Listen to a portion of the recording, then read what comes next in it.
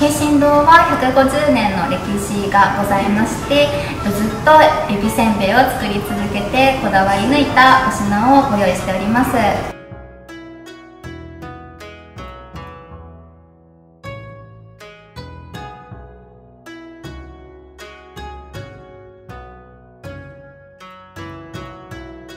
名古屋ではエビせんべいが人気で外国の方もたくさん買われていかれます。にちは。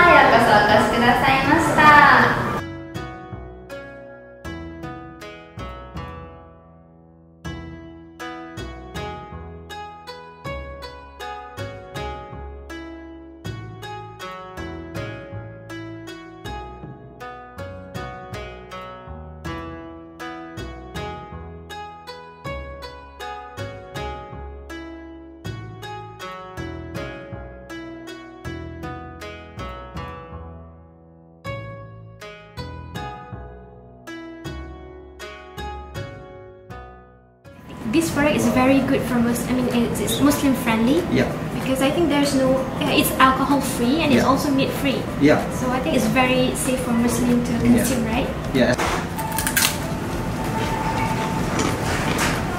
Do you like this one? Yeah, I think it's good. Good. I really like it. It's very delicious. Yeah. I agree with you. Uh, this ebisame tastes really delicious. I really like it.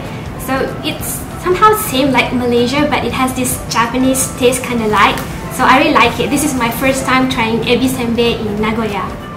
I will strongly recommend these products, uh, especially for Muslim and also for uh, someone who wants to uh, have this product for souvenir uh, to your family because the products have information about the ingredient in English, so you can see uh, about the ingredients.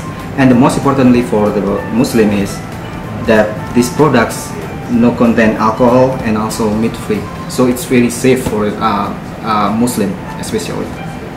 Oishi.